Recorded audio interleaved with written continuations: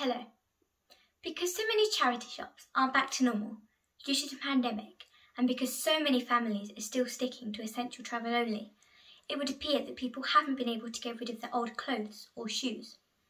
This means we have an amazing opportunity to help the Salvation Army again. The Salvation Army is the band that came and played for us at Christmas.